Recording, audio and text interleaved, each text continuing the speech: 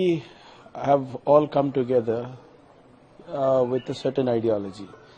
And we have come together to preserve the idea of India and constitution. So the BJP, if BJP has a problem with uh, our uh, unity, that means uh, they are afraid that they will be unseated. And uh, you can also see that how BJP is, uh, BJP's and Modiji's magic is on the wane.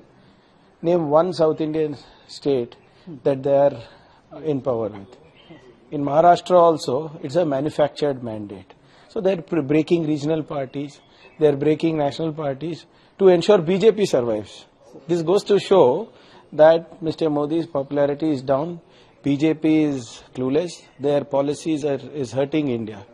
Sir, and uh, JDS is likely supporting BJP. Sir. I think JDS, Janata Dal Secular, should drop the word secular from their name.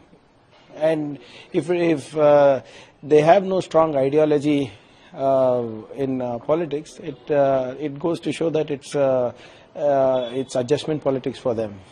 Sir, Aam is also supporting this today's meeting. as Kejriwal and other Uh, So we are very clear on what's uh, happening in uh, Delhi. The ordinance route that they have taken to take away powers of the state uh, government is not uh, is not in good taste. Today it's happening in Delhi. Tomorrow it might happen in Karnataka.